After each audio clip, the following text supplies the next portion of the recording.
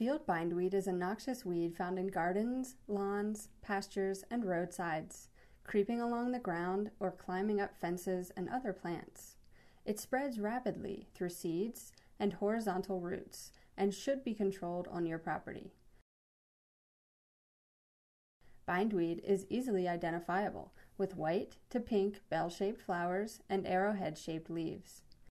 Controlling bindweed requires persistence one control option is the bindweed gall mite. The bindweed gall mite is a safe biological control which can effectively reduce field bindweed infestations. The bindweed gall mite is a very small, almost microscopic mite. One way we can look for it is we're looking for leaves that are actually folding over prematurely. And we have a piece of this right here where the leaves are actually starting to fold over upon themselves, and the mite actually causes this to happen.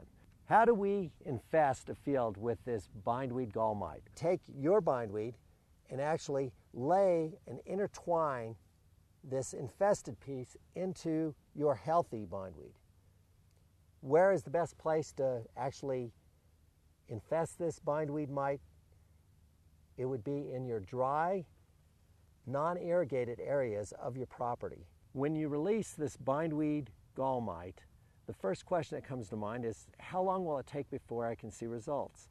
Typically speaking, if you form what I call a little bindweed gall mite nursery, you're looking at about a couple months to start seeing symptoms on your plants. By fall, you should be able to start seeing it where it's spreading out from your initial release site. Once you do get establishment, you can mow the bindweed. And this will actually help spread the bindweed gall mite throughout your property. With the bindweed mite, over time, it will start reducing the vigor and vitality of this bindweed and it will become less aggressive.